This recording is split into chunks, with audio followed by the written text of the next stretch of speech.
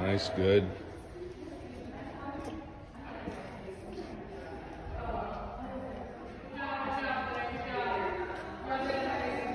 So you're feeling that one hamstring isolate? Yeah. Do you, what do you feel in the other leg? Much of anything?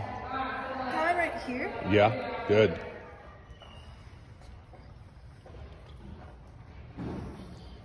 Hamstrings on fire. Yeah, definitely on fire.